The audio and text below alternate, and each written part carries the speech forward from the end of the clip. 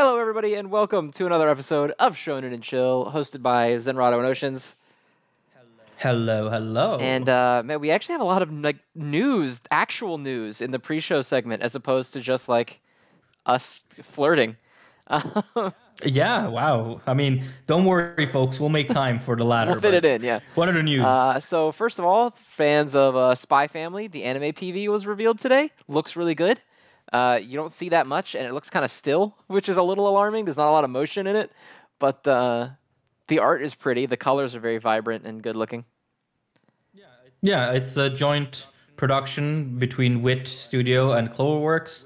Wit, over obviously from um, Attack on Titan fame, so I'm sure they'll do a good job with it. They're they're, they're a good studio when they're not busy abusing their employees, but that's a different story. well, I feel like you could say that about every anime studio except the bad ones. oh, dude, Wit is Wit is special. Wit Wit got lucky. Mappa has been catching all the heat because Wit is, oh god, yeah. Hey folks at home, Google George Wada and see what you find. That might be funky. Uh, oh Mr. god. oh, yeah.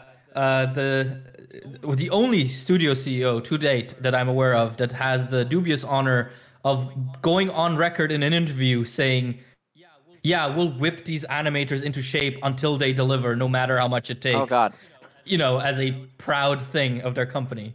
So, um, you know, I didn't want to rain on your parade. I'm sorry. Why did I do that? Why did I start this topic? oh God. Okay. Uh, anyway, moving on. actually, a good segue. Some of the animators that work at WIT, they actually have Patreons that you can support, which I think segues into our next news. No, but do we have that? oh, that we don't will have any later. Patreon news. Uh, oh. The next news is the rumor mill has been churning uh, that we're about to see the end of Red Hood and Neru. Well, I only care about one of those. Same, but it but both I, getting hit back to back. That one quick. hurts. Yeah. Like Jump really has not been on a roll with these series. Note that this is unofficial information. It's like a rumor and speculation, but the account that tweeted it that I saw is one that is generally correct when it comes to this stuff. So. Mm-hmm. Yeah. Yeah. And I mean, it kind of makes sense as both of them have been underperforming generally. Um. So yeah. Well, uh, we'll talk about Red Hood for sure. Neru, sorry, ten Neru fans. It sorry, was, the one guy in the comments that says Neru was actually good this week every week. You know what? I'm going to be so fucking pissed when Neru and Red Hood get cancelled, and in a year's time, Piss Six is still running. Oh yeah, Piss Six is on chapter 110. I'm gonna be so fucking mad if that happens. Uh, also, did you catch the reveal of what P6 actually stands for? No, I have not even bothered to look at a single thing for this. so, um, you know how um, in music, when you play quieter, it's called a pianissimo. Mm-hmm. Um, and that is signified by a P in some scriptures. 6P is the way that kid apparently has to play. He has to play really quietly, and that is called piani piani piani piani piani pianissimo, which sounds like a JoJo cry. it does. It which sounds is... like a stand cry. oh, because he plays quiet because his mom is in the hospital. Yes. Yes, exactly. God, I don't care about this fucking series. God. uh, remind, remember, reminded we what did we lose for Piss Six? Did we lose Candy Flurry for this? Uh, yeah, it was Candy so, Flurry. yeah. Uh, great. That was cool. Uh, do we have other news? More cheerful ones? Uh, yeah. So uh, a little bit of more cheerful news. Our uh, first, this is our first Patreon episode where we're gonna actually do the thing. Uh, the winner is Blue Yay. Box. So for those of you just tuning in, look forward to it. You'll see it in the timestamps too. Unless I want to be coy and I just timestamp it Patreon segment, so you have to click on it and give me that sweet watch time. it is a blue box that won. So we'll be talking about the first five of blue box, and then on the Patreon later today, I will upload my little longer uh, portion where I talk uh, further in depth than we did, uh, just about the first five. for patrons only. So get excited, uh, people who get to see that. It'll probably end up anyone that wants this. It'll just it'll be in the Discord by tomorrow morning, I'm sure. But but still, it's a very exciting thing. And uh, the Get excited. the prizes for the contest should be going out pretty soon. I've just been lazy and have not wanted to look up a bookseller for one of them because he's not local. and so I've been not wanting Uh. to try to figure out how to ship a book where he is. A quick reminder that we're both incredibly professional. Yes, yes, we're very. this is this is our job. Okay, we take it very seriously. And my, every month I cash in my humongous Shonen Chill paycheck Massive that I earn through work. from These this. Uh, Shueisha is trying to shut us down because we're rivaling the company in in views. Soon we'll have enough money to buy back Red Hood and Phantom Seer.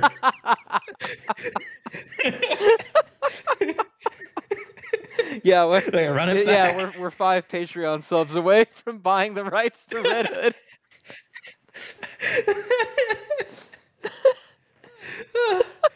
Uh, I mean, God, like with something like Red and Neru, the rights cannot be that expensive. Honestly, it's not like they've really achieved much so far. yeah, you got a point. Which in one case is the same. Yeah. Well, it is what it is. Um, damn. I, I'm sorry. I, ju- I just keep being sad on this show. It really is sad boy yeah, today. it's just it's, That's it's, my- it's the Halloween episode, so it's got to be a little sad, a little spooky. Yeah. This this is my Halloween costume. It's just me but sad. Oh God. All right. Well, we we should probably go ahead and get into it. Uh, what were your your top Mhm. threes for the week? My top threes were uh, Undead Unluck, Doctor Stone, and My Hero Academia. All right. All right. Mine was more or less exactly the same. It was uh, Undead Unluck, My Hero Academia, and then Doctor Stone.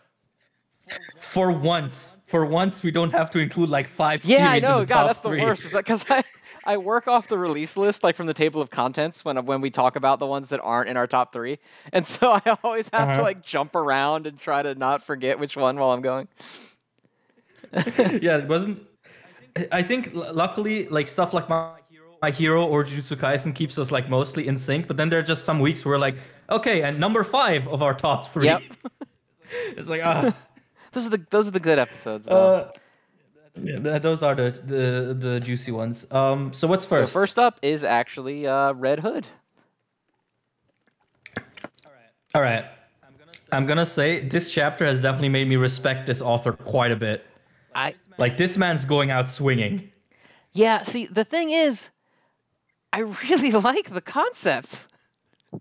Like Yeah, the more I read it, I'm like, wow, this shit's awesome. So why did you spend so much time on the shit that doesn't matter? Yeah, like uh I- on one hand I get that, but also like just the fucking ballsiness of writing this when the real life context of it is happening is oh, you mean shit, writing dude. about how uh, the story is at the whims of external people, and that's why he's getting fucking canceled. yeah, like him Dude, the fucking phrase um stories that fail to entertain will inevitably get abandoned. Normally I wouldn't care. This shit hit hard while I was reading that. I'm not gonna lie. Like that's I I don't think I've seen an author do that. It feels very deliberate. Yeah, I mean the one the one panel with the old man where he says, "What point is there to uh, a world whose sole purpose is to create tragedy that lives up to the expectation of a merciless god?" yeah, like the or the full page where he's like, no happy ending, no tragic ending, just an end to everything. I'm like, oh god, okay, buddy. Yeah, this is uh, Oh, I I I feel so bad for that author because now also like weirdos online have started like targetly making fun of him for how Red Hood ended up. oh like uh, there's like entire accounts dedicated to just spamming him, and I'm just like, man, this is why authors shouldn't have social media. yeah, really. I Like, feel like as soon as you get into the public eye, like people are just ready to be shitty to you all the time. It's very frustrating. I just need. I. this is probably terrible, but I, I think one day what I would like, love to see is like someone like I don't know Hori or someone who gets like a lot of shit on Twitter just quote retweeting s- someone with their like IP address and just leaving it at that.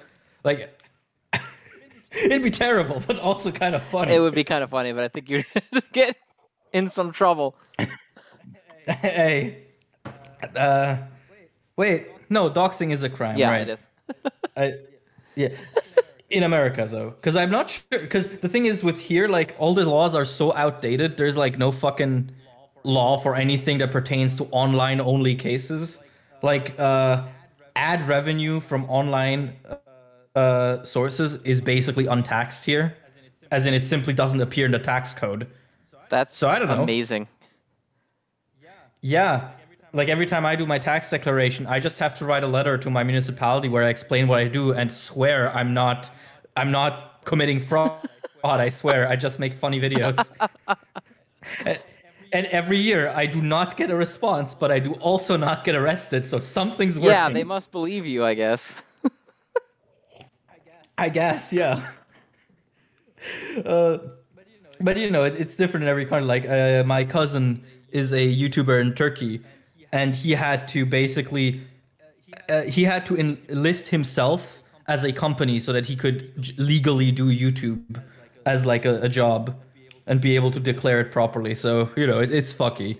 It's really fucky. Um, how do we get onto this? Uh, I actually don't know. How did we get onto this? Oh no, right. I think I think I, I I wished that Hori would dox people. Oh, right, that's right. And then we started talking about crime. Yeah. Yeah. But yeah, no, I really think it's. I I mean, anyone listening, if you've seen that shit, um, you know, of people harassing uh, Kawaguchi on Twitter, like just report it, report it, and block it. Like it's it's so gross, especially with like how much glee people have and people failing in their creative endeavors. It's so annoying. Yeah, and it's Like, weird know, all because these- like he wasn't, to my knowledge anyway, being like shitty or like ah yeah, my new Mhm. series Red Hood, the best shit ever. Fuck this other stuff. It's like he's just a guy trying to get by. Like, why are you attacking him? Because this thing that he was passionate about didn't work out.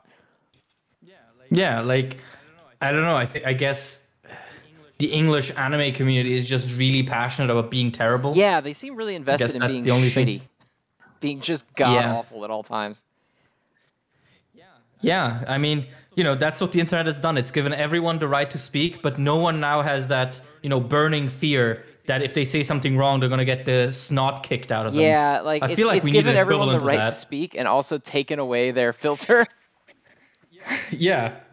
Like come to my house and tell me my creative work sucks. Let's let's see. Let's see what happens. This is not an invitation, by the way. If you do come to my house, I will probably make you tea. I am built I am built like a beanbag. don't yeah, don't don't uh don't come to anybody's house. As I said, if you do come to mine, I'll make you tea. That's that's as far as it'll go. I'm not gonna do that because I don't like tea, but you know, I'm literally drinking tea right now. How how dare Awful. you?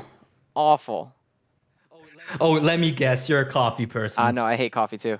I'm like seven years old, so? I, I can only drink caffeine through soda because both tea and coffee taste bad to me. oh god. Oh god. So so what? Do you only drink water and soda? Uh, I drink like fruit juice and stuff. Oh, you know, okay, that's I, I respect that. I can respect that. I drink fruit juice every Sunday. Um, again, how do we get on this? Uh, because Red Hood is not that good, all things considered. Yeah, Red Hood is failing, and the most interesting part about Red Hood so far is that it is failing. And yeah, that's which kind is of the sad. problem, right? But- It's like the only interesting thing to talk about Red Hood is that it's getting canceled. Yeah. Well, either way, uh, I have gained some respect for this author for sure with this move. But at this point, I mean, it's apparently ending what in the next three weeks, if it's ending. Uh, yeah, I think so. And yeah, so you know, I guess we'll just keep saying the same stuff until it ends, and then we'll say the same stuff, but a bit more empathically, and then that'll be that'll be that. Yep, pretty much. Let We're just gonna say the same thing about it every time. I feel like. Did you know it's getting canceled? Yeah. and then we'll move on. Yeah, did you know it's getting canceled? That sucks so much. Hey, remember Phantom Seer? Nah, that was sucky. I remember Phantom Seer. God damn it. Hashtag I remember. Um, do we want to move on Yeah, then before we we'll- just repeat we'll ourselves go. again? Sorry, Red Hood All right. fans. I just can't. I just can't. yeah, like there's nothing really to analyze anymore because the moment you realize that it's getting canceled, stuff kind of just stops mattering. Yeah, and like right? anything to analyze is pretty much just even if you try, it's just him throwing the gauntlet down and being like, okay, this is the whole backstory to my entire story. All right, bye. Like, Yeah. Yeah. okay, He's like, here's my entire uh, manuscript, but read out by my characters. in yeah, in, in like exactly three chapters. so Yeah, I mean, one thing that I've seen people say that I hope does come to fruition is that if this author stays in the manga industry, that his next work builds off of Red Hood, uh, kind of like how, as a- kind of like how Akutami built off of uh, Tokyo Metropolitan Magic School and turned it into Jujutsu Kaisen. You know, I feel like that's sort of the thing you need to do nowadays with these short, somewhat unknown series. But yeah, either way, very very sad to see. Out of ten. yeah, what a shame. Out of ten. Uh, all right, let's Yeah. see. Next up is gonna be Witch Watch. I liked it. It was cute. I thought it was cute. I- Yeah. th- yeah. Again, Yeah. our Witch Watch segment is always like, was it cute or not? but it's what I'm here yeah, for, I right? mean that's what the series is. It's just is it fucking cute, and it most definitely Yeah. was. Yeah, I mean, I kind of, I kind of left it feeling a bit wanting, you know, because I was like, oh, you know, this is their first date, and I'd hoped they would like sort of evolve their relationship a little more, but really, it was just sort of, hey, I like you, and hey, I think you like me too a little bit, and I've learned how to read you a little better. And it's like, uh, you know, that's that's all that's all right. I kind of, I guess I wished we would have taken a more decisive step forward. But then again, as a weekly romance series, I guess taking any decisive step forward is bad for business. So, yeah, I'm chilling. Yeah, fair enough. I really like uh, basically all of Moy in this chapter. Like I thought it was so cute when he was like, "Oh, you guys are hanging out," and then they were like, "Yeah," and he's like, "Oh, you didn't invite me." "O- Okay. Mhm. I was like, "Oh no." he feels bad. yeah. Also, Minimoy is one of the best gags. oh so yeah, far, it might be the just because it's one so in the- in the, series so far. Yeah, it's just on his head get, going crazy about that movie. Yeah, like when Oh he, my God. he goes, the movie was pretty good, and then on his head he's like banging drums and screaming. That's me every Jujutsu Kaisen chapter. Mini Just Zen. just on my head banging drums. Except I'm also doing that in real life. Well, we've seen that with Moy as well. Like when he laughs genuinely, uh, he both Mini Moy and Real Moy laugh. So I guess your genuine emotion is rawness and swag. Pretty much. That's all I've got. Yeah. But yeah, this chapter was super cool. Um, as I said, I kind of wish we would have gotten something more sort of forward with the relationship, but what we got was still very good. Like I really, I really just enjoy these characters hanging out and being happy together. Yeah, it's just nice to see Like, them um, like having a good time. And I like the little the little rundown where she was like, just because he's not expressive doesn't mean that he's not a very emotional person. You know, he's having his little cute. She's thinking about all the great stuff that he does, and they're having fun at the fair and everything. And I was like, damn, this is fucking adorable. Yeah, Yeah. like uh, I am. I have officially decided I'm adopting both of these. They're mine now. Uh, that's fair. Yeah, me when I see a happy young person in a story. Hello, are you my son? I will protect I will you, protect no you matter forever. what. yeah, the, I guess when it comes to Witch Watch, my st- my taste really, re- really is just I want to see nice people be happy. Yeah, my thing is just like And- I want to see nice people uh, enjoy life. I want this nice couple to smooch. That's my. That's what I'm here for. yeah, which we still have not gotten. Yeah, I was really Ah. hoping for even like a tease, like an accidental, like, oops, we smooched, but nope, we didn't get it. Yeah, it, the series feels weirdly like innocent in that regard as well, where it's like, for as much as we got like little sort of mentions of more bodily stuff, like especially with uh with Wolf, who's just the biggest uh player. but um, you know, when they talk about sort of liking people, that whole topic of like physical closeness and kissing and hugging kind of is not a topic at all, which I find interesting. Uh, might also just be a consequence of, you know, Japan being a bit more closed off in those things. Yeah, which is And weird because just it's showing also here. like the place that's famous for being exceptionally degenerate. Well, yeah, I mean, it, I, it makes sense, no? Like, if you have incredibly repressive social norms regarding one thing, that one one thing will overwhelmingly start appearing in their works and creative uh, endeavors. I guess that's true. You know, I guess like- that's true. It, yeah, like uh, hell, Victorian England had reprodu- reproduced the most sexual fiction out of any period or country in history to date. so you know, what, people have not changed historically. We're all the same. We're all horny, and when you tell us we can't be, we'll just be somewhere else. That's just how it is. So yeah, no, it, it kind of makes sense uh, it is just interesting, sort of how it tiptoes around that a lot of the time.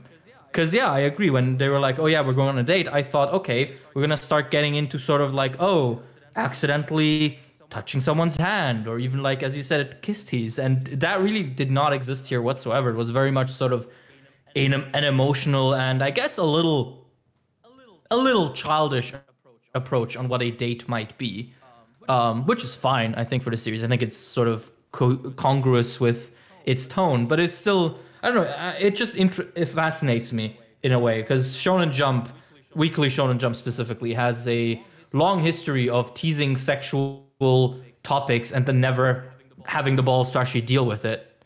Um, you know, I think my favorite example of that will always be Naruto, where everyone's horny all the time, but sex doesn't seem to exist. Yeah, Naruto's weird about that, where like every single person was like constantly horny, but then they like they didn't even kiss. Yeah, like everyone's bleeding out of their noses, bonkers horny. But when it comes to like actually pursuing relationships, no one's interested or uh, driven enough to do anything. And it feel it's interesting because it kind of feels like you're trying to, as an author in that situation, you're trying to appeal to sort of that young boy audience that is, you know, first starting to discover these things. But you don't want the characters to cross that line because a lot of the kids or young boys at that age would not have crossed it and would therefore sort of lose that uh, relatability aspect to it.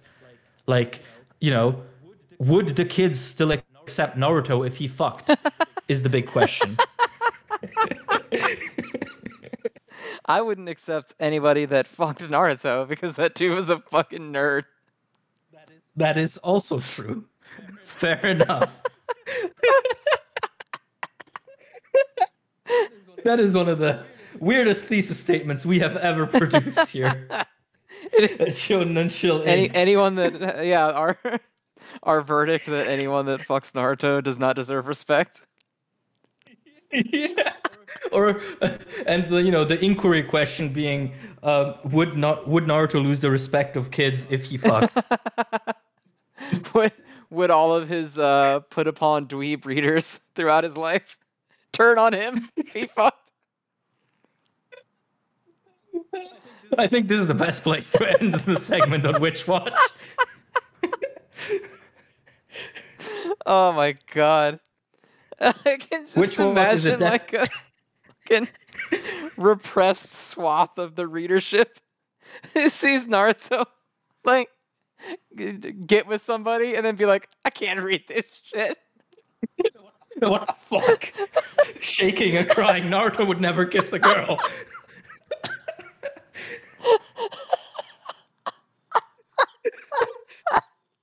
He's a Chad. He only kisses Sasuke. Oh fuck. Yeah, how, how fucked is up is it that the only canon on-screen kiss in all of Naruto is Naruto and Sasuke?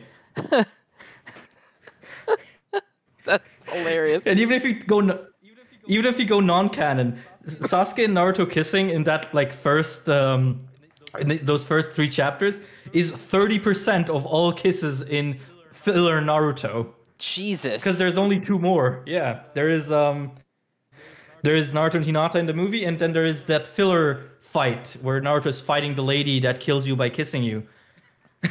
where no joke in the dub she ca- she tries to kiss him and Naruto straight up calls her a slut. My king.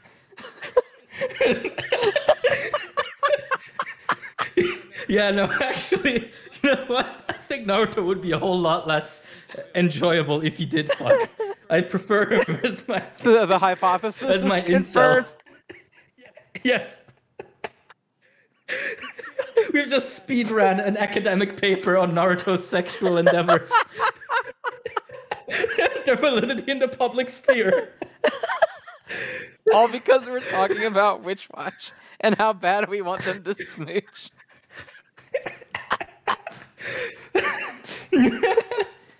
Okay, so I give Witch Watch this week. I give Witch Watch a definite Naruto slut shaming out of ten. This episode is fucking off the rails. We're what two series? Oh in? my god. Okay. All right. All right. Next up is gonna be uh, the elusive samurai. Which was speaking, Speaking of of virgins, slut am I right?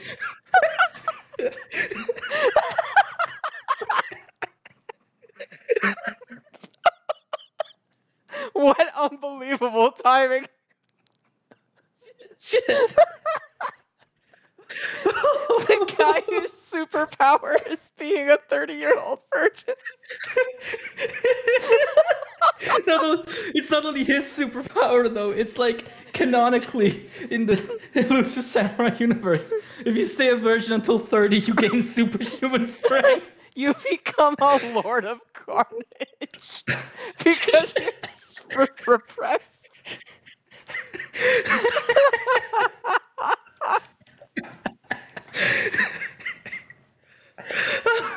Oh God. Oh. Uh, so, Samurai. Uh, no, not Samurai. The Elusive Samurai was uh, was pretty good this week. Safe to say. It was good. Uh, it was. Yeah. Uh, a lot of sort of again history and politics, sort of of the of the fashion that I don't necessarily enjoy too much. But the, the ending portion where he like visits the, um, that one general is pretty cool. Like I, I did like that. Um, I also like that when our main kid he's like, oh my god, I'm gonna have to like avoid being captured, and it's gonna be super difficult. And he's like blushing know. and getting that's excited. my I'm favorite like, gag. I think in the elusive samurai is how the kid gets like horny for being in danger. He's like, "Fuck yeah, I have to run away from things." Yeah. Oh my god. He's like got the puffs out of his mouth. He's like heavy breathing. yeah.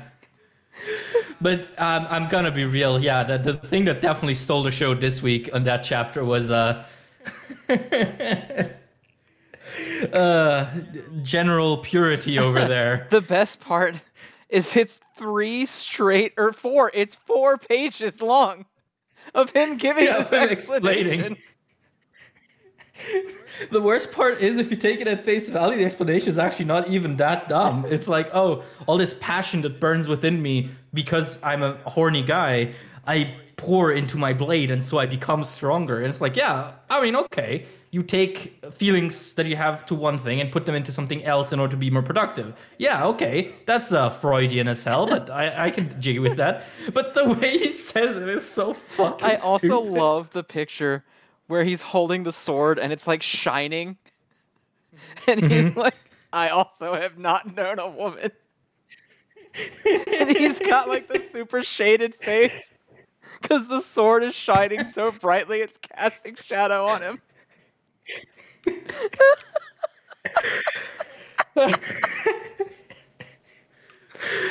now this also brings up a uh, another thing because of course what the series doesn't say is as important what it says. Um, so is the, the elusive samurai implying that uh, women's like position in nature is to keep men's power in check? Is that what i'm reading here? To, stop to- men to from keep- becoming too strong.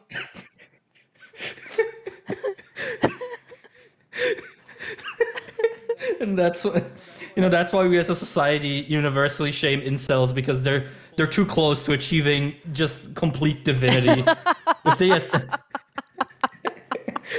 They're just growing too too close to nirvana, so they have to be stopped. yeah. when when the clo- when the when the clock strikes midnight on your 30th birthday and you have still not known the touch of a woman you will officially ascend no one shall stop you all will fear you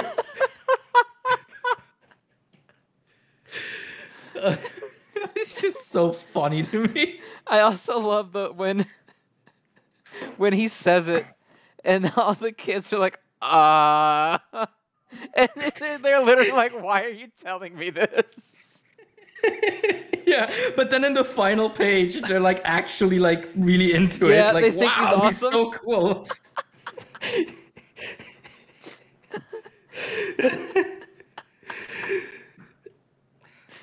So fucking good. I really like the elusive samurai now.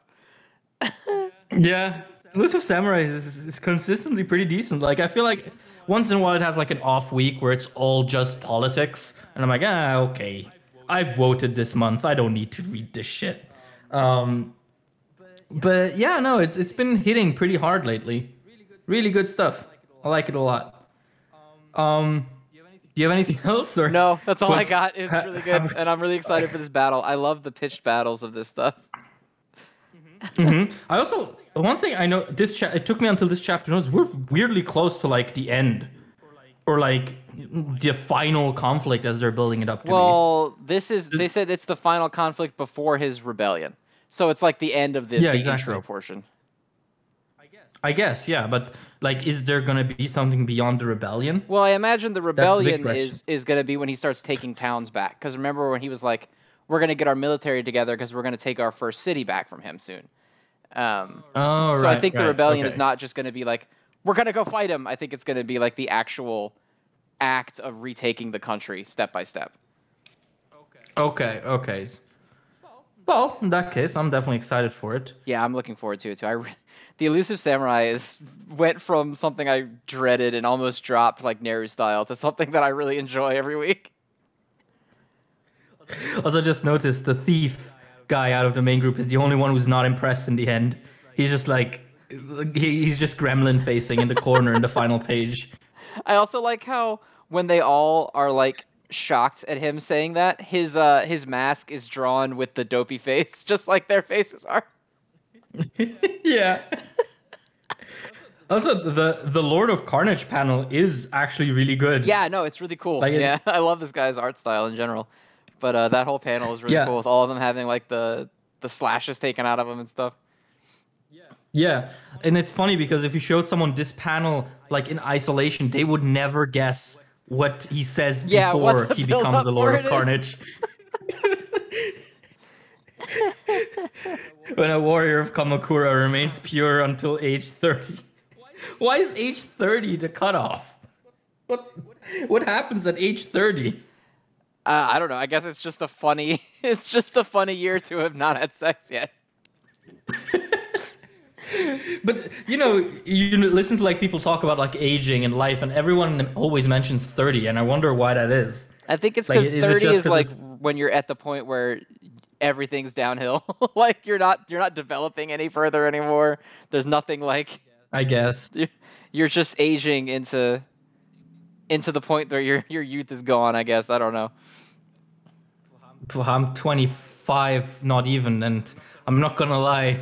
Some of that shit you just said does sound familiar. Doesn't it? so- Yeah, I mean I'm 30 now, and I, I feel like I feel cheated because now I'll never be a Lord of Carnage because I'm not a virgin anymore. So you know, I lost out on my chance Oh to my- be all powerful. Holy shit! Have you just dropped some S and C lore? Uh, yeah, well, they don't know that I moved there uh, right when we started the show, so they don't know the details. Oh, I see.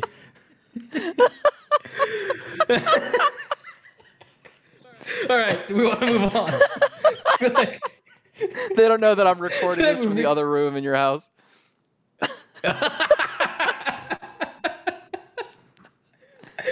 From my closet. oh no, wait, we're out of both of those, so it's fine.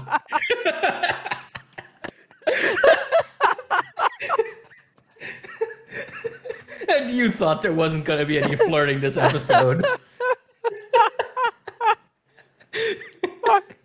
okay. All right. Next up is What's next? Uh, we're in the top threes already. This is a short week with uh, both Mashle and Jujutsu Kaisen on break. Oh damn! Oh, well, okay. In that case, let's let's go. Uh, so number three is uh, Undead Unluck. Which was Peakshin and Rawness. It was so good. I love how he the, the the whole part where he was like, "Haha, I'm gonna take undead and you can't do it," and she's like, "Aha, that was what I wanted, you fucking idiot." And I'm like, "Yes, I'm here for this. I love this kind of shit." Yeah, and I I like how because when um Spring took Undead, I was like, oh shit, who's she gonna take then? And she pulls out Unbreakable, like the most unassuming character. I didn't even remember that they existed. Completely forgotten about them. Uh, but yeah, no, the the sort of this matchup is really cool. I'm really curious to see how the fight and actually turns out. a Beyblade fight. round round two is just gonna be like a Yu-Gi-Oh I'm match. here for point. that. Are you kidding me? Give me that. like Fuko, we have to use the the, the dual monsters written D O O L. Oh, God. But yeah, super cool, super cool. I also I I really like um just the way Spring carries itself. It's definitely the the most interesting Uma so far. Uh very sort of you know, it's weird cuz he's kind of goofy but also sort of regal and intimidating. And you can tell that he's sort of struggling with himself as well since he's like been forced into this transformation. Right, that he Um, clearly I isn't that, that invested in or wants to. He's not down with the sickness, as it were. Yeah, exactly. So you know, it's it's cool. Like it makes for an interesting uh sort of opponent in this situation. I, I definitely really enjoy it. Um, but yeah, like just super super cool. I love the very last. He also does, like- where uh, Unbreakable has a little sign that says, "On second thought, I can't do this." yeah. uh, in general, it's kind of cool, like uh, having these little like linguistic gags as well. Also, I like that um, Spring multiple times does the like the Jiraiya pose, you know, with the like Yeah, the palms palm out. towards the Yeah. screen. Yeah, yo, um, very very cool. But aside from that, this was mostly sort of a a chapter to set up this fight. Like in terms of like actual substance, there isn't a whole lot aside from sort of Unbreakable being properly introduced, I guess. Yeah, but I kind of like So, their you know. interaction because I, I think that I enjoyed hearing Fuko talk about and understand that she's grown a lot. Because like Andy talks about it all the time, and he's like, "Oh yeah, you know, Hmm. she's awesome now." But I liked having Fuko understand how much that she's grown, and then um, kind of imparting some of that to someone else. You know, I thought that Mhm. was cute. Yeah. Yeah, for sure, for sure. Like, uh, Fuko is just so good now, so good. I, I really like not just how much like how confident she is, but also like how aware she is now. Like, uh, if you, because I mean, we've mentioned her confidence and sort of her ability quite a lot, but if you go back to like earlier chapters, she's also like really sort of unaware and unassuming early on. And obviously, you know, she doesn't know anything about this world that she's getting sucked into pretty much.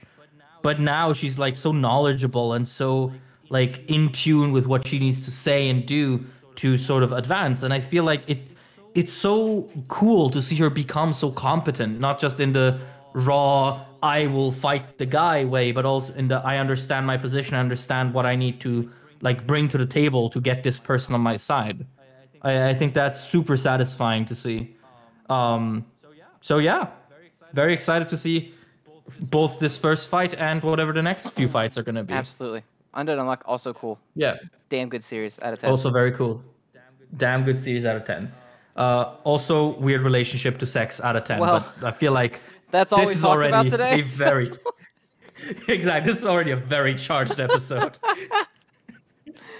Oh, and maybe not. Maybe not with this series. yeah, that's probably not the best one for that. Uh, yeah. um, what's next? Next up is gonna be uh, Doctor Stone. Which was thumbs up. Shit was cool. Very Shit good. was cool. That Yeah. last page of the the short cut of Senku's eye, and then just the picture of Why-Man, so fucking cool. Mm-hmm. Shit's so cool. I really love just Yeah. everything going on right now. Like the whole, they shot a fucking satellite into space, bro. Two of them. Yeah, yeah, so good. And uh, I don't know. I just think like most of the chapter for me was sort of just, oh, you know, we're getting along, we're sort of moving forward. But just the final spread of them locating Why-Man, that shit felt so satisfying because it feels, it really feels like it was a monumental journey just getting this bit of information. Mm-hmm. Like that pixelated image of that's the enemy. That's the first time we've actually laid eyes on him, and I think that's just so cool to do this sort of in a series like this. Yeah, it's amazing like, how long how has- Doctor Stone can hit like my rawness quotient while having almost no combat or anything in it. Like, it's just raw science. Yeah, like just really fucking cool. And I don't know. I also think that it's amazing that this these sort of plot revelations or plot steps that have been in the making for I don't know how many years at this point, uh, really do just live up to it. Not through like anything super complicated, but by just being incredibly cathartic. Like there's nothing incredibly mind blowing about them finding Why-Man, but just the fact that they found him after like actual years of him or, or of it being this unknowable entity feels huge without any huge fanfare that is necessary. Just the double spread and Senku going, yes, there you are. Like, holy shit, that's so cool. So cool. I'm still stressed. Like, I, I, I am under the assumption that they will somehow finish this rocket that can bring them home, but I'm Mhm. still stressed about it. like, I don't want to lose anybody.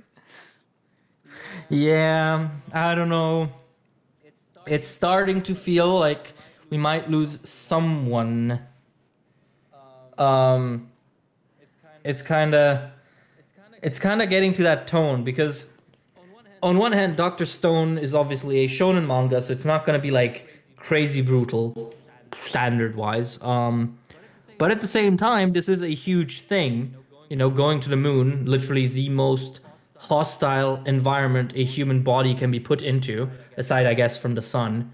Um, it just feels like Doctor Stone is going to have to pull the trigger on someone, especially how much this chapter sort of emphasize, emphasized the difficulty of making, you know, a reliable return rocket. So I don't know, man. I I'd better be I'd better start digging some graves Yeah, it's uh, in your mind. it's just stressing me out. It's stressing me out, man. got got Doctor Stone on your mind. do. I don't want anyone day to and die. night. Also, I love one of my. This episode has a giant panel of my favorite thing in Doctor Stone ever, and it's uh, the the uh, con- like convenient censorship of Kohaku's dress. Oh wait, where is it? Page uh, page seventeen. Seventeen. Let me see. Oh yeah. Just the exactly in the right angle. It's always so funny to me. yeah. I think I, I think it was Caleb, uh, the translator, who once pointed it out that Boichi loves to put like women's asses front and center. And one time it really created a in one of the chapters where they were dealing with like uh, the scent factory. It was like you had Kohaku's massive ass in one panel, and right next to it, like an icon of like a poop emoji. it was like, uh oh. Boichi, why? Oh Jesus. I, you, you know, you can't, you, you can't, uh, you can't hate on him. He he does what he loves. Yeah, the man. The man's does obviously a into it. I also really like that while Yeah. Kohaku is staring at this thing looking for Why-Man, she's like ravenously eating meat on a bone. Yeah, that's like also a cool to fucking strength caveman. It's so funny to me.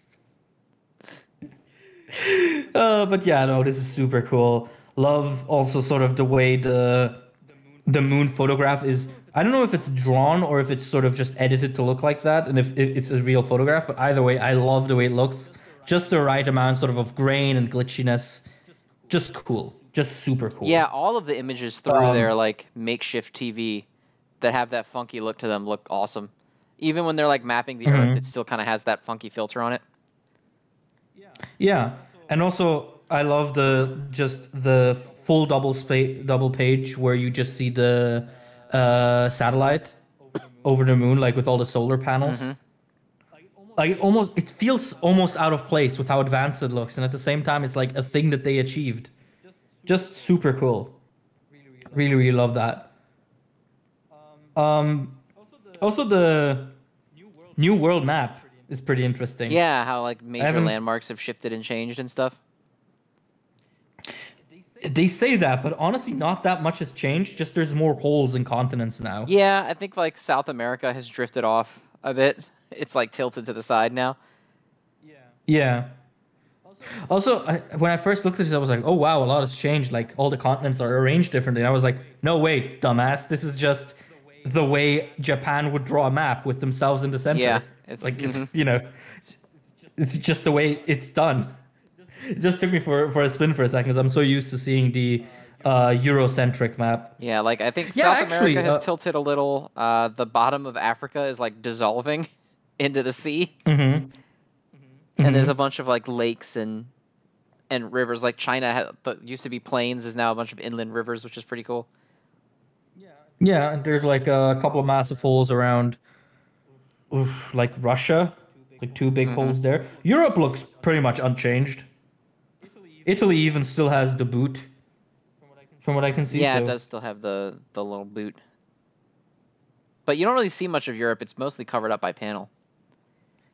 Yeah, true, true.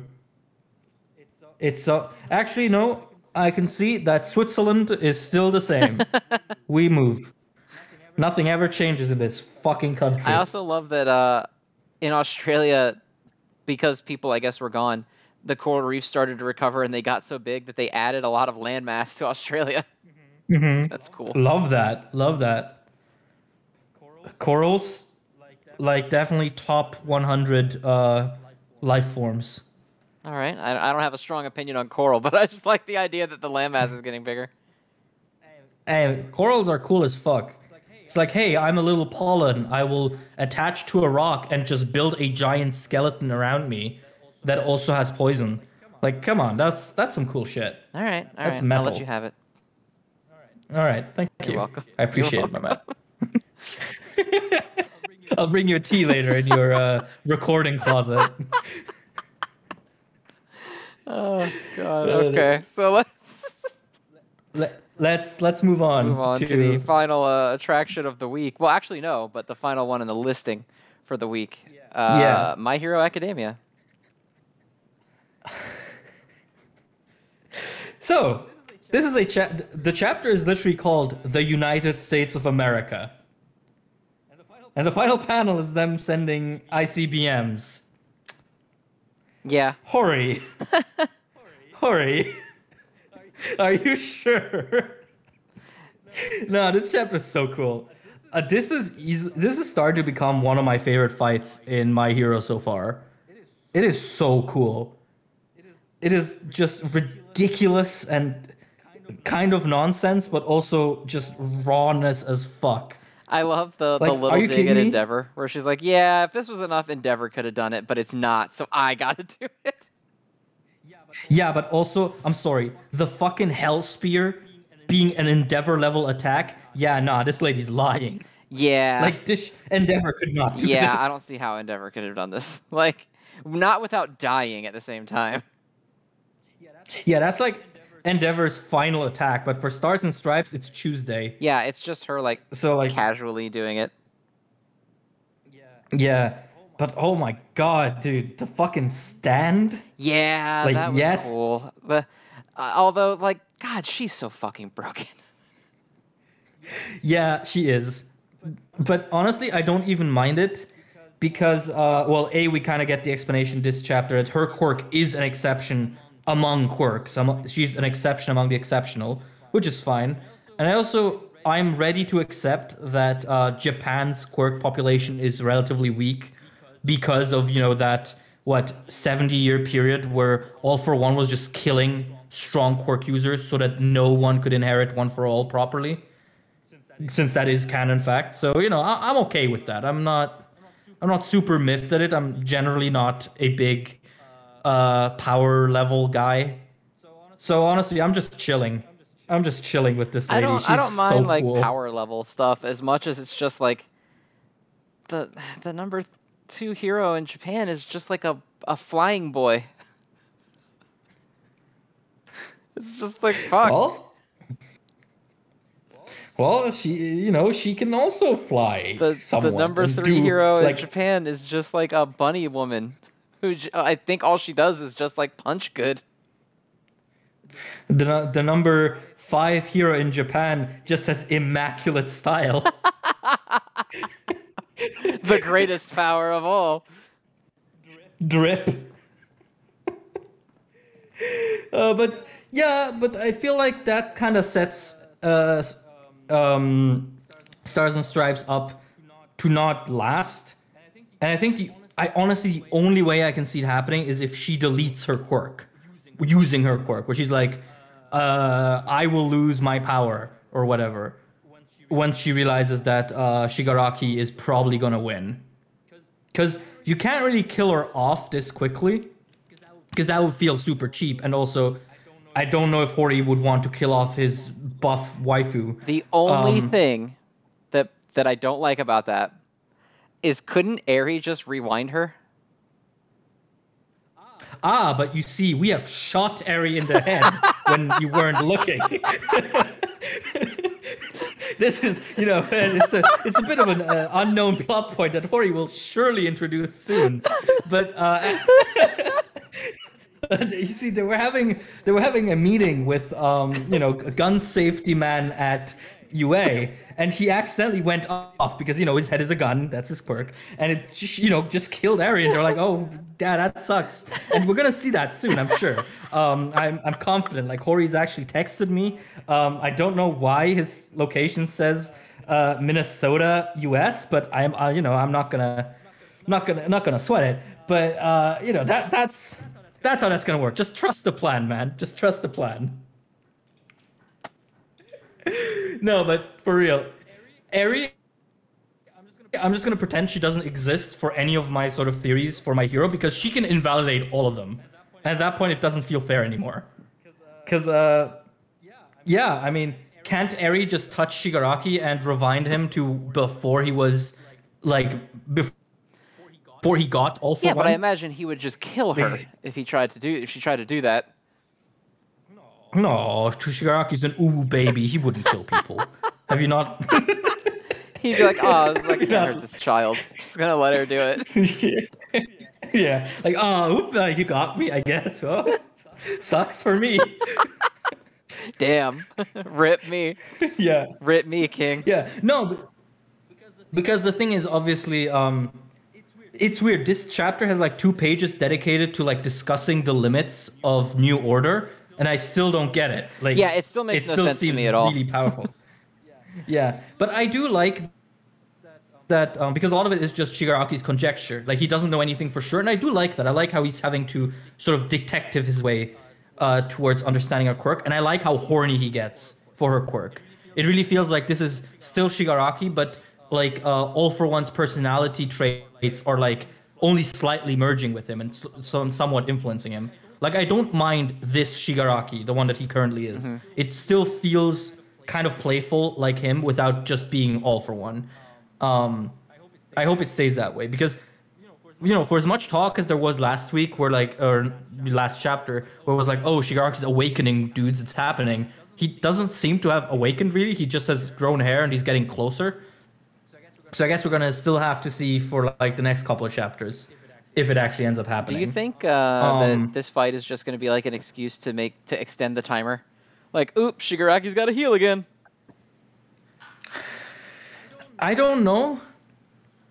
I because okay, if we're gonna talk about the timer, we probably also have to talk about the whole thing with like, oh, is the series ending or not? Because um, this series cannot end. I am like never. I've never been so confident in saying that all this shit about the final act is either only referring to like part one of my hero or is straight up a lie. because Shigaraki is definitely going to survive multiple nuclear missiles to the head. Deku can swing around the streets like Spider Man on a good day. They're not beating him the way he is now.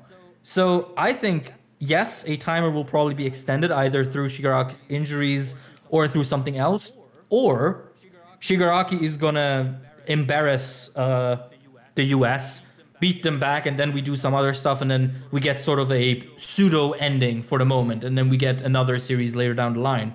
Because it just doesn't feel realistic for, you know, Deku, who was sitting there struggling against 30 teenagers, to go toe to toe with this absolute monster of a creature at this point. Like, Deku is sleeping in UA, licking his wounds from like a month of trekking across Japan. Meanwhile, Shigaraki is fighting a giant stand woman in the stratosphere while taking nukes to the head. Like, it just doesn't line up. I really think we are not in for the ending yet. It just doesn't make sense to me.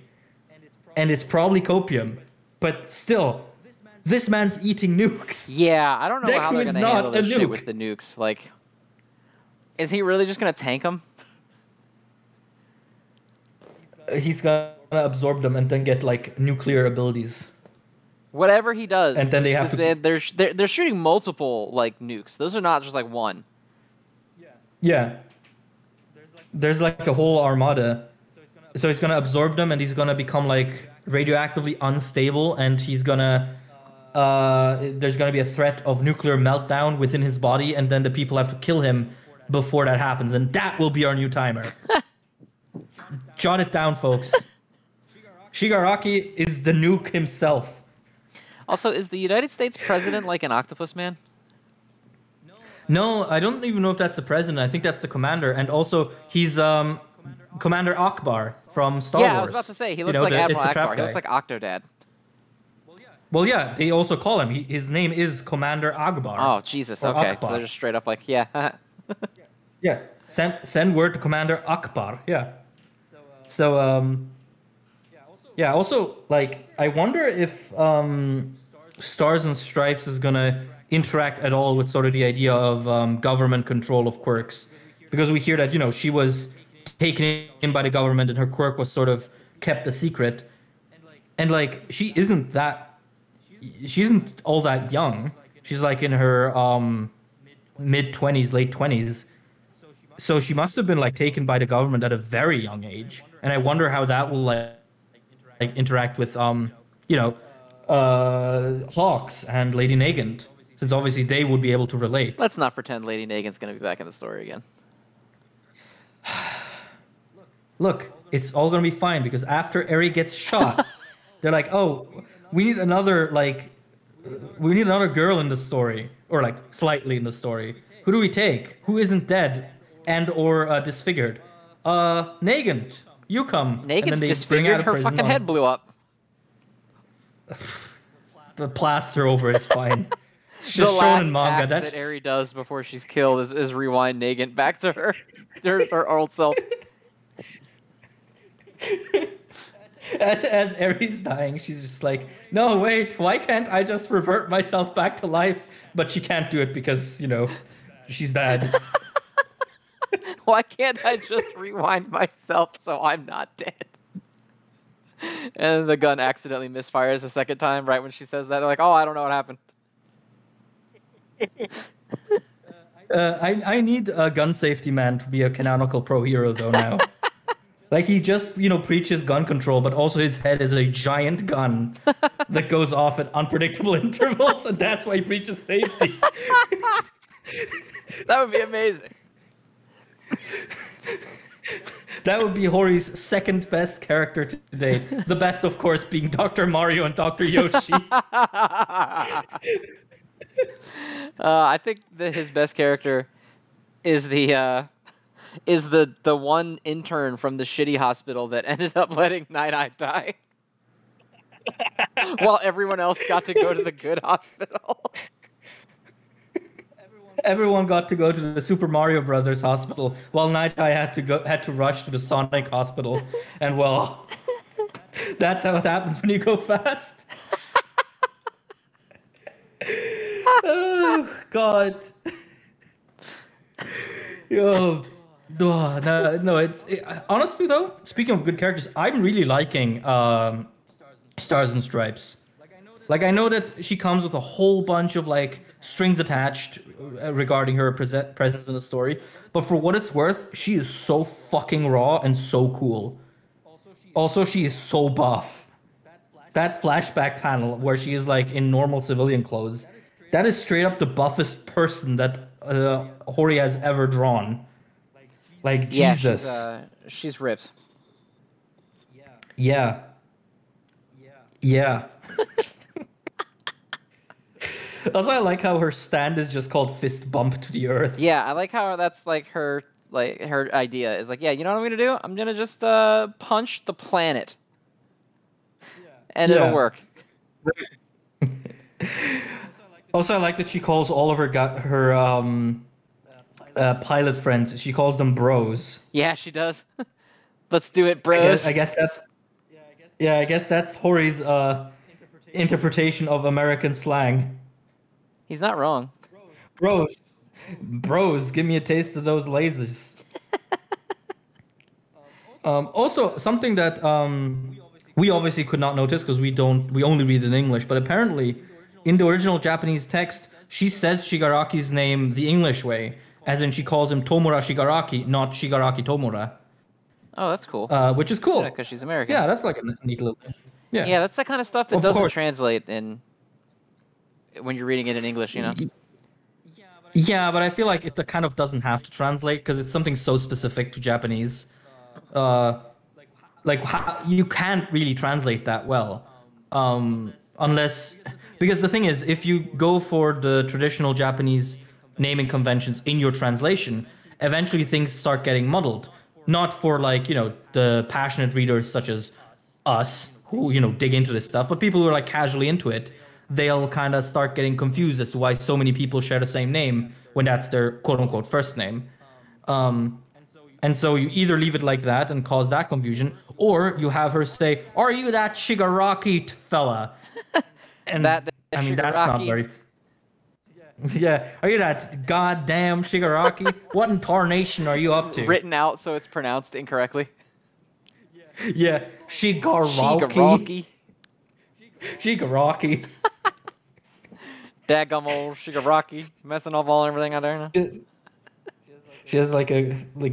Oh my god, she is gonna have like just the worst Texan ac- accent in the English dub, I isn't I hope she? that she just sounds like Hank Hill. no, she like you know she's this uh, like big muscle waifu, but whenever she opens her mouth, it's just a uh, Peter Griffin voice coming out.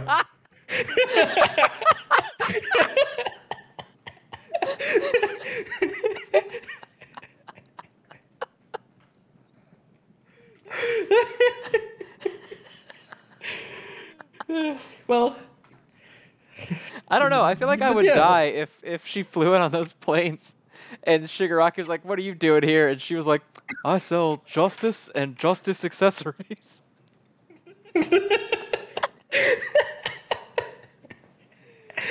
Uh, yeah, no, that that would be kind of great. But it, it, spe- speaking from experience, the English whenever there is English in the Japanese version of the anime, the dub tends to tra- to turn it just into one of the funny English accents. Yeah, in this I- case, I'm it will sure probably you be anything about uh, Kuroko's basketball at all. But uh, there's one character who's like supposed to be he's Japanese, but he's from America. Mhm. And so whenever he's like, they'll he doesn't sound like this all the time, which is weird because a lot of time he just sounds normal. But every now and again they'll make him talk with like American slang, like in the way that he speaks. Uh-huh. So he'll randomly just be having a conversation, and then someone will piss him off, and he'll be like. You want to get a little one-on-one with me, pretty boy? And I'm like, you gotta turn that shit off. you gotta stop. I don't want to hear a man say that. Well, well, hey, do you want do you want a one on one with me, pretty boy? Oh god, I don't see anything wrong with that. this is the kind of episode we're Uh, recording today. I don't- hey, it's that Halloween spirit. You know, I don't know if it's a thing in other countries, but here in Switzerland, whenever you are cranky or act weird, someone will ask you if, uh, oh, did you see the full moon last night? So that's what's happening with us. We're seeing the Halloween moon.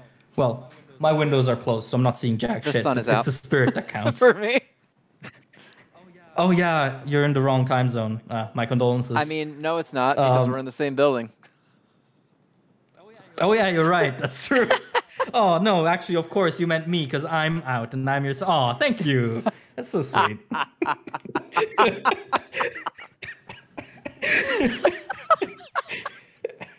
Is is all of this just because Blue Box is what we're talking about at the end? Yeah, probably. it definitely, it definitely uh, uh, put one of us into that headspace.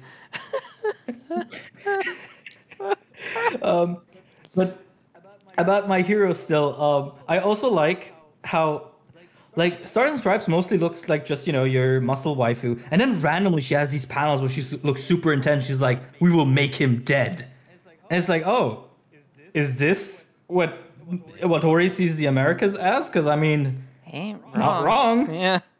I, Yeah, also, I, I really like the picture of All Might holding her. I also thought that was super cute. yeah, that's super nice. I also like that you can faintly make out uh, David Shield in that picture, which is All Might's American sidekick from the first movie. I didn't watch it. I'm not gonna watch it.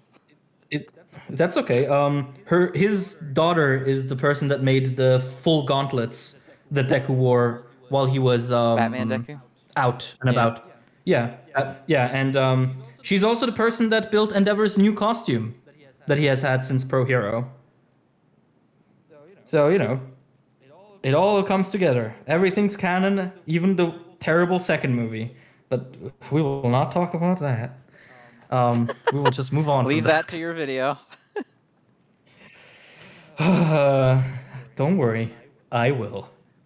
Um, do we have anything else on my hero right now, or is that sort of the I uh, the conclusion? I think I'm I think I'm good on my hero for right now. Yeah, yeah. I think you know I'm glad um, that we that this sort of stratosphere fight wasn't just a one-off, like one chapter affair. I'm glad it's actually giving being given some crazy treatment. God, if you and I did you see did someone that, say, how would you even begin to explain that quirk? Yeah. But also like um I saw someone say something interesting where it's like this is only the first fight of what Hori officially calls the final arc. What the fuck is the final battle going to look like?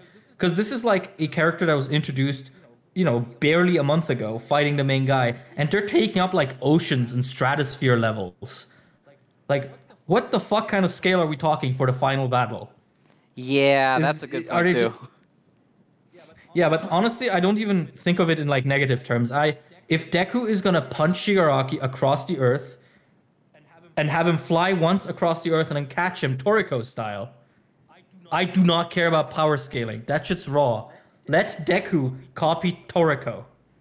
That's the agenda if, for if today. Deku punches Shigaraki around the entire planet and then catches him behind his back, uh, My Hero Academia is an 11 out of 10. Yeah, like uh, just end it there. We don't even need the conclusion to the fight. That's it. That's just the last panel. Well, no, obviously the last panel will be Eri reviving herself back to life and then touching the page, thus reviving all of my hero back to chapter one. And that's the ending. It's a wrap. it just ends with Eri just rewinding the whole series. And she's like, this sucked. do it again, motherfucker. Do it again, but better. she's like, do it again. Do it, do it again, you asshole. And she's holding gun safety man's head to Hori. she's got it by the throat. she's threatening both of them. You know what? You know what? This is ridiculous, but I definitely prefer our version of Eri over the actual version we got. oh, poor Eri. Uh, but okay, my hero was very good out of 10 this week for me. Yes. And, quality uh, quality manga out of 10. Yeah, but I think now it's time we talk about real fiction. Peak fiction, as it were. Now we- uh, so we're welcome Yeah. to the Patreon reader segment, where we are going to talk Uh-huh. about the first five of Blue Box. Yeah. Uh, so, uh, just right off the bat, we're probably gonna make Blue Box a weekly series here in Shonen Show from next week onwards because this shit good. This shit be hitting. I'm not gonna lie. Like uh, I'm always very uh, sort of um, how do I put this? I'm I'm usually not very into sports series at all because I've done enough sports in my life. I don't need to read about it. But this this is good. Sports as a framing device to just have these two nice people get closer and closer to smooching. Yes, sir. Definitely up my alley. Yeah, I mean it's it's like Witch Watch without the silliness. It's just just more like I need these two to smooch like right now. I need these two happy people Mhm. to smooch. Yeah. Yeah. Like it's it's so good. Like I really enjoyed my time with it. I was surprised. Like um it's hard to write endearing romance in a way that makes both characters feel like thinking beings because a lot of romances I find personally that uh, they need to dumb someone down to like ridiculous levels.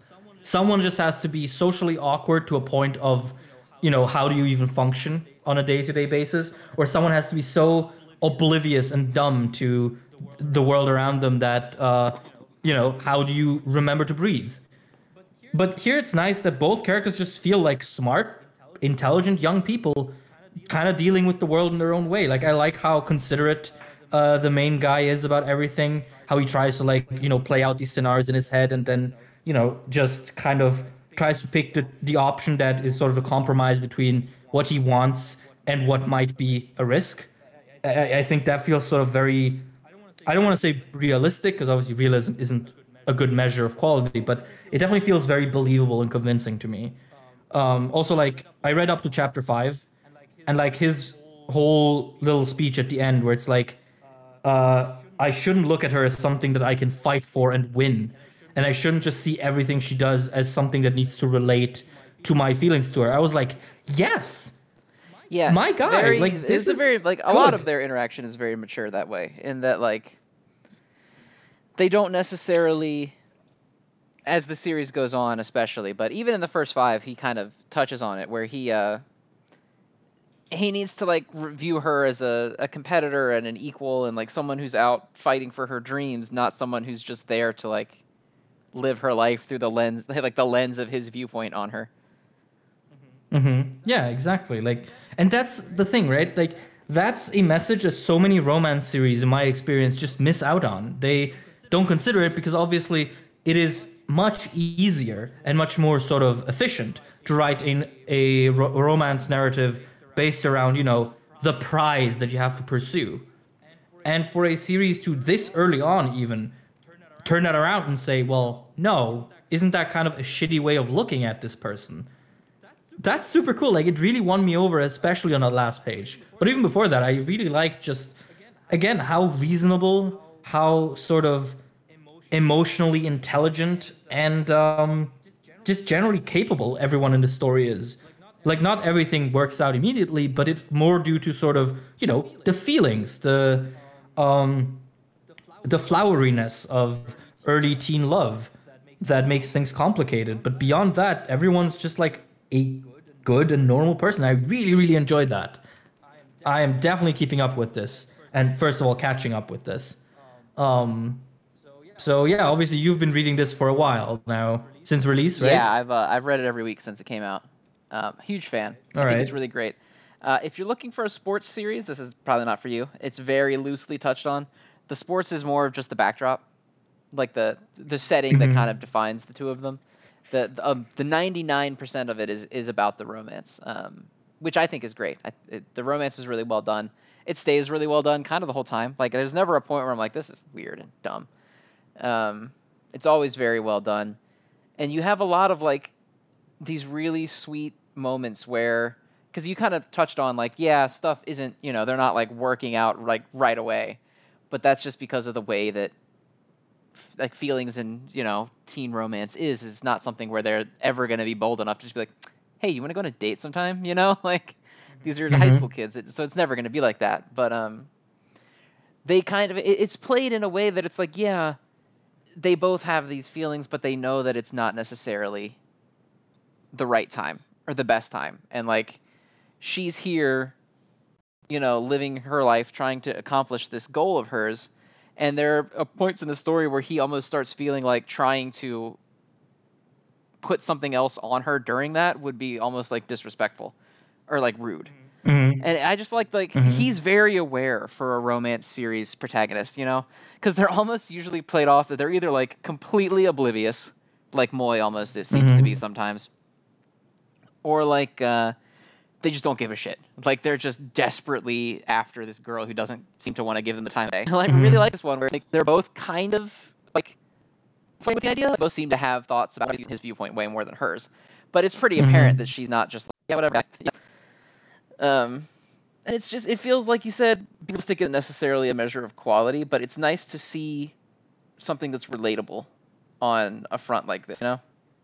Yeah, because I feel like a lot of romance also have like they take these exaggerated reactions to things that need to complicate the plot. Like you know, a guy starts the smallest advance towards a girl and she immediately like comes up, or a girl starts showing interest and he becomes a fucking idiot. And I like how in this, you know, both sort of topics are breached. Like um, the girl does react negatively to some things he does, but it's never to a point where it's like these are just caricatures. Like um, when he tries to be cute and nice to her, she doesn't just like go ugh whatever loser as you said. She's like oh that that's sweet of you, and sort of um, doesn't just immediately shoot it down. And when uh, he's he accidentally offends her, she isn't like offended beyond uh, beyond understanding. She you know she avoids him, and then when they do get a moment to talk, he like breaches it and talks about it. And she's like oh I see. I mean. I still felt weird about it, but it's nice.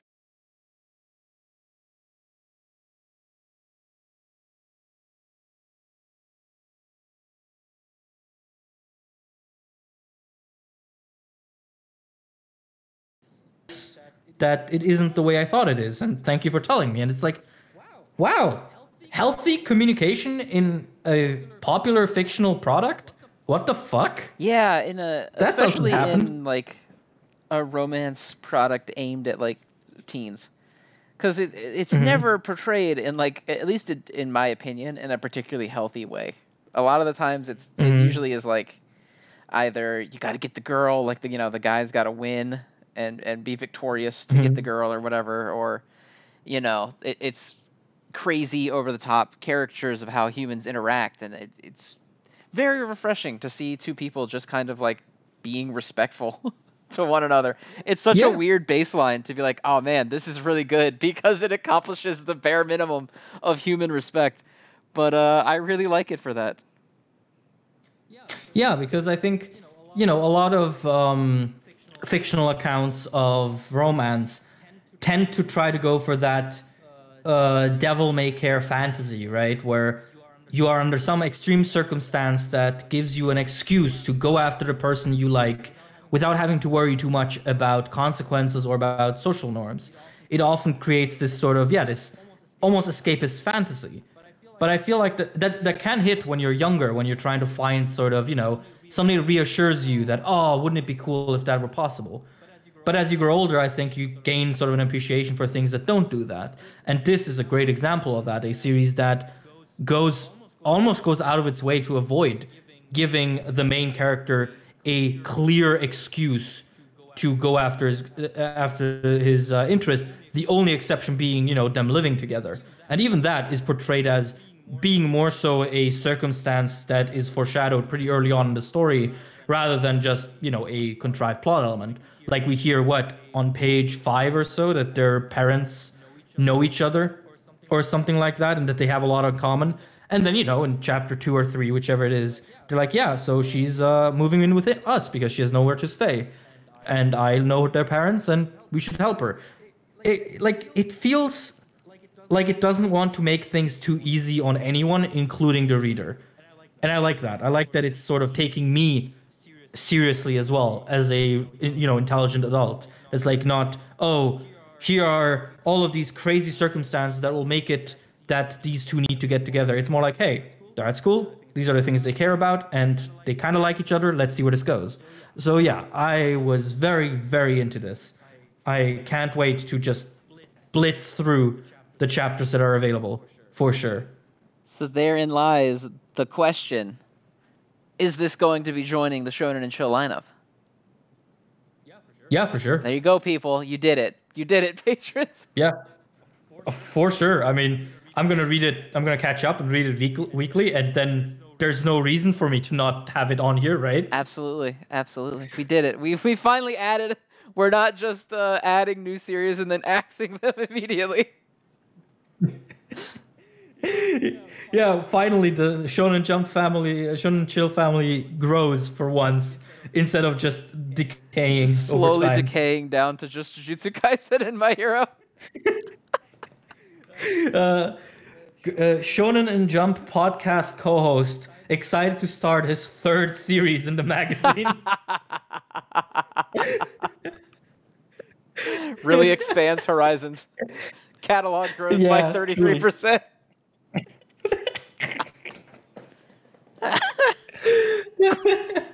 but yeah, so that would sort of be my impressions from the first five chapters of Blue Box. You are you gonna talk about that on Shonen Chill Plus, or do you want to say some things here while you're here? Uh, I'm gonna hold for the majority of it, just because one of the other rewards for this is the uh, I'll upload a Patreon exclusive audio file where I talk a little bit more about Blue Box in depth. Uh, that should go up probably tomorrow. Um, so I don't want to spill too much of it live on the air, but just for the chapters that we talked about, um, yeah, it, it's a really great pilot chapter too. I could think it's one of my favorite ones, like in terms of getting me hooked into it. Like a lot of stories, I think have so-so pilot chapters. I mean, like Red Hood had a really good pilot. Um, I thought Phantom Seer had a pretty good one, but usually you don't. Or, and uh, Time Paradox Ghostwriter had a crazy good one too. But you don't get pilots that are always super amazing. Uh, I really like the pilot for this chapter, and I really just like how the characters are sort of set up. Because like the oh my god, I like this girl, and now she lives with me is kind of like super tropey, right? It's almost like a, like a comical anime trope in regards to this, but it's never really played off that way. They're just like mm-hmm. it- you know, there's nothing silly like, uh, she walked in on me in the shower. Oh my god. I opened her bedroom door and Mhm. she's naked. It's just like they live in the same house. And it never really comes Yeah. up that often. Yeah, like I, I also really like that um, in that first chapter when it happens, his main concern isn't like anything super tropey or haremy, but it's more like every time she, I see her, I can't help but think of that I want to be with her, and now I have, it's gonna help me. Like I like that his immediate thought isn't just oh my god, yes, a chance. It's more like oh my god, how do I deal with my own? Yeah, how do I cope? um, yeah, how do I cope? Like even sort of the scene where you know she's going out of the bath and she's like, "Oh, hey, the bathroom's free," and he goes to ba- to bathe. Which in any other series that does this, that would have been like uh, a sex gag, one hundred percent. oh, um, yeah, a million percent, yes. Yeah, and he just goes in. He's like, "Damn, I really can't stop thinking about her." And then you get like the briefest flash of him imagining her in the tub, and he's like, "Fuck, I'm screwed." And you know, it, it's it feels sincere, right? It is. It doesn't feel as gratuitous as other series that do this. So I'm, I'm yeah, I t- totally agree.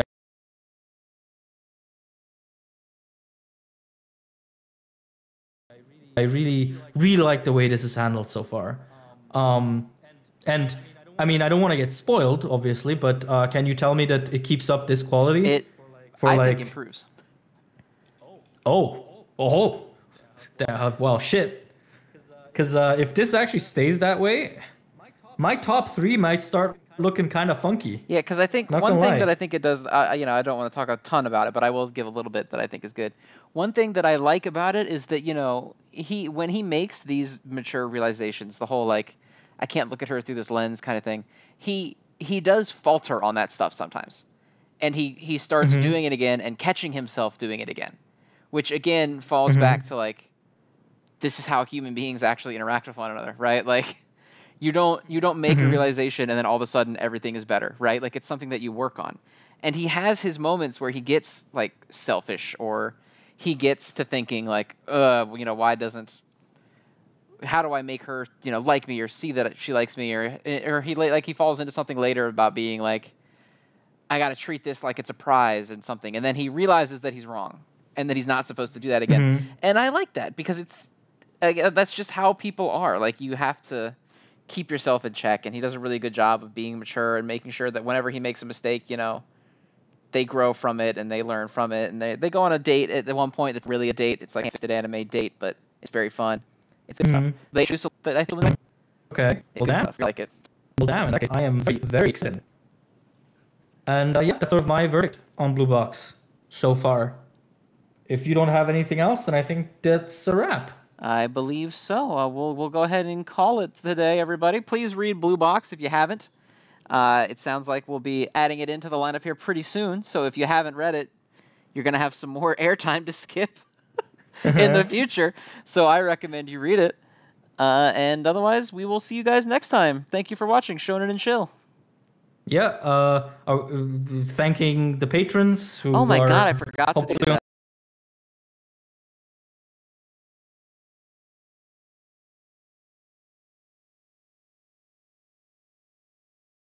I'm the worst Screen? at this. I'm so bad at this job. We actually have new patrons too. We have three new ones. Oh damn! Let's go. Oh yeah, right. We have the Kingdom of Hyrule. Yeah, we have the entire All of Kingdom of. Hyrule uh, subbed, which is great. It's a lot of rupees to put toward uh, getting Red Hood back in. buying Red Buying Hood. Red Hood with our Zelda money. Uh, and then we have Uh-huh. Mecha Moose 9000, which I like that name. And then Romanoli, which sounds like uh, I I always want to say it like a stereotypical Italian person saying cannoli. hey, can you pass me the Roman? Yeah, Noli? exactly, just like that. uh, figlio, give me the Romanoli. Hey, I can do that. I'm Italian. Perfect. Uh, and then also, everybody, make sure if you are a $10 or higher patron on this list that you please, please, please submit your entrance for the November Patreon reader segments. Uh, again, not everyone has done that, and I feel really bad that people are paying for the $10 tier and not giving us stuff to get your rewards with. So please do that. Um, Mhm. For sure. and I can't think. Oh, and just make sure, even if you uh, are not a patron, we're gonna open the voting publicly this time because last time it ended up uh, Blue Box pulled away at like the last minute, like uh, the last minute, uh, because we had exactly enough patrons to vote at that point. Um, but we're gonna go ahead and only patrons can recommend a series still, but we're gonna open the voting for the November poll publicly. So uh, please, everybody, get your suggestions in. I'll probably give about a week uh, for suggestions to come in, and then I will go ahead and post the poll, and then we'll make the poll public so that everybody can vote, and we'll see what we do uh, next time. We're not going to carry over the losers, by the way. So if you want the losers to uh, be potentially on the list, you'll need to resubmit your pick if it didn't get voted this time. All right. If you got all that, then I think that's that's Halloween. All right. Oh yeah, it's Halloween. Happy Halloween, everybody. Yeah. Go enjoy Happy time. Jujutsu Kaisen Day. yeah, happy Jujutsu Kaisen Day, where there was no Jujutsu Kaisen. The stars just aligned in the worst Yeah, way. it's like the star. They they to see it. anti-aligned. Yeah, I'm sad. You're gonna have to hold me later.